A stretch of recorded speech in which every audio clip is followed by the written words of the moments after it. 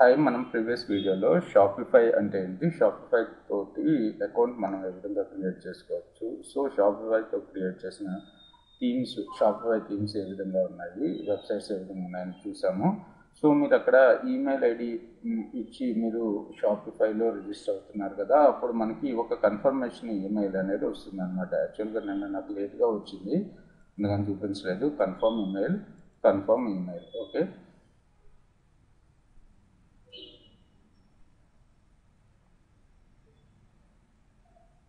email is very very where do you want go your store Shopify partners Shopify academy Shopify community exchange market place so your స్టోర్లోకి వెళ్ళిపోతున్నాను నేను.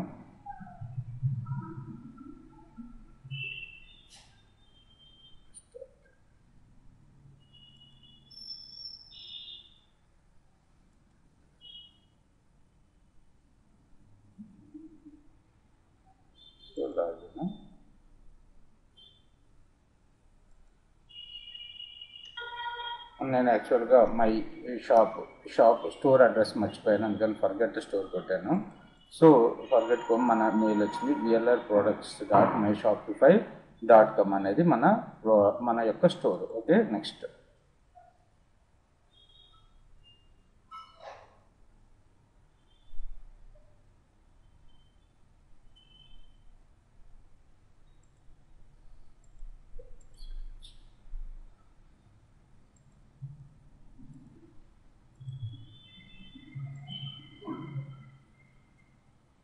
So మళ్ళీ email ID password అడుగుతుంది.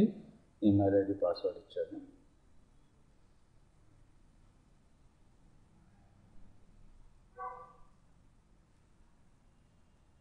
Okay.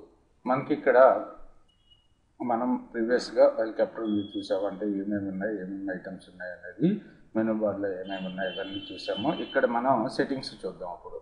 So సెట్టింగ్స్లో మనకి ఏమేమి options ఉన్నాయి. General locations store languages payment providers notification billing checkout files legal shipping sales channels taxes plan and permissions ఉన్నాయి. Plan and permissions. So మనం first general సెట్టింగ్స్లోకి వెళ్తాం general సెట్టింగ్స్లో మనకి ఏమేమి ఉన్నాయో చూద్దాము. సో జనరల్ జనరల్ సెట్టింగ్లో స్టోర్ డీటెయిల్స్ షాప్వేర్లో ఎవరి customer use information to contact you. So store name VLR products so store contact email customer email so store contact email అంటే we will see this address if you need to contact you about your store your customer will see this address if you email them so ఇది ఇది రెండు కూడా సేమే ఇచ్చాను. తర్వాత చూసుకున్నట్టయితే legal name of business phone number street apartment site it's city postal India Telangana. So standard and formats so ఇక్కడ చూసుకున్నట్టయితే మీరు legal name of business. So me business name legal name ఏదైనా ఉంటే దాన్ని ఎంటర్ చేసుకోండి. తర్వాత చూసుకున్నట్టయితే మనకి స్టాండర్డ్ స్టాండర్డ్స్ అండ్ ఫార్మాట్స్లో మనకి టైం జోన్ వచ్చేసి జిఎంటీ ఫైవ్ థర్టీ మనం ఆటోమేటిక్గా ఇక్కడ హైదరాబాద్ ఇది ఆటోమేటిక్గా సెలెక్ట్ అయి ఉంటుంది. లేదు మీరు ఏదైనా టైం ఫార్మేట్ మార్చాలంటే మార్చుకోవచ్చు. తర్వాత ఇంపీరియల్ సిస్టము పౌండ్స్లో కనపడుతుంది మనకి మెట్రిక్ సిస్టమ్ మనం యూజ్ చేసేది కేజీల్లో కాబట్టి కిలోగ్రామ్ యూజ్ చేసుకుంటున్నాను. తర్వాత చూసుకున్నట్టయితే edit order ID format. So order number starts with so ఈ ఫార్మాట్ తోటి మనకి సేవ్ అవుతూ ఉంటుంది. సో దీన్ని ఇలాగే బై డిఫాల్ట్గా ఇలాగే ఉంచేద్దాము. ఆర్డర్ నెంబర్స్ వస్తూ ఉంటాయి కదా ఆర్డర్ నెంబర్స్ అవి.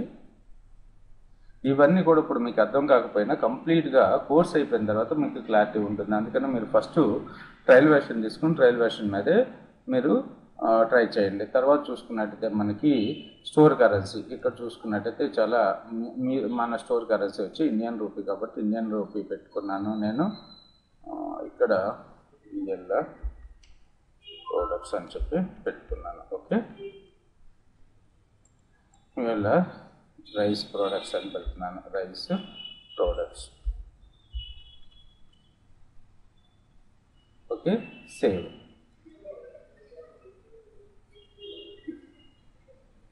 so తర్వాత మళ్ళీ సెట్టింగ్స్లోకి వెళ్ళిపోతున్నాను. తర్వాత మనకి లొకేషన్స్ ఆప్షన్స్ ఉన్నాయి. ఇక్కడ లొకేషన్స్లో మనకు చూసుకున్నట్టయితే manage the places you you stock inventory fulfil orders and sell products. So ఇక్కడ బృహల్ మీ స్టోర్ అనేది నాలుగైదు లొకేషన్స్లో ఉందనుకోండి. సో ఇక్కడ నా మెయిన్ అడ్రస్ ఇది పెట్టుకున్నాను.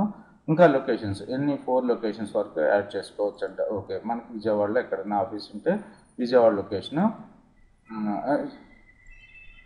location name address apartment city ఇవన్నీ కూడా మనకి ఎక్కడ లొకేషన్ ఉంది అనేది ఆ లొకేషన్ యొక్క ఫోన్ నెంబర్ ఇవన్నీ కూడా ఎంటర్ చేసుకుంటూ వెళ్తూ ఉంటారు అనమాట సో అదే విధంగా మీరు ఇక్కడ మనకు ఫ్రీ అకౌంట్లో ఎన్ని ఇచ్చారు? ఫోర్ లొకేషన్స్ని యాడ్ చేసుకోవచ్చు. ఒకటి హైదరాబాద్ ఒకటి ఒకటి విజయవాడ ఒకటి తిరుపతి ఒకటి మ- మచిలీపట్నం అలా పెట్టుకుంటూ వెళ్ళాం అనుకున్నాం తర్వాత స్టోర్ లాంగ్వేజెస్. ఓకే? సో ఈ లొకేషన్స్ నేను ఇప్పుడు ఈ సైడ్ ద్వారా ఓన్లీ రైస్ ఐటమ్స్ అంటే రైస్ బ్యాగ్స్ అమ్ముదాం అనుకుంటున్నాను. అందుకని నాకు ప్రతి ఏరియాలోనూ ఒక్కొక్క లొకేషన్లో ఒక్కొక్క షాప్ ఉందనుకోండి. సో నాకు వచ్చిన ఆర్డర్స్ని అక్కడ నుంచి డెలివర్ చేయొచ్చు. సో ఈ లొకేషన్స్. లేకపోతే కొంతమంది ఆన్లైన్లో పే చేసి ప్రోడక్ట్ని తీసుకుని వెళ్ళిపోతూ ఉంటారు. ఆ లొకేషన్ వాళ్ళకి ఐడియా ఉన్నట్టయితే. సో మనకి డిఫరెంట్ లొకేషన్స్లో ఉంటే ఇది యూజ్ చేసుకుంటాం. తర్వాత తర్వాత షిప్పింగ్ స్టోర్ లాంగ్వేజెస్ తీసుకుంటున్నాను. Okay so default language is English and translated language ఇవేమీ అవసరం లేదు.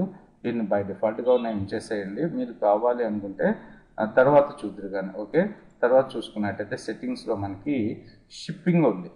షిప్పింగ్ సో షిప్పింగ్ వల్ల ఇవన్నీ పేమెంట్ ప్రొవైడర్స్ నోటిఫికేషన్ బిల్లింగ్ ఇవన్నీ కూడా తర్వాత చూద్దాం.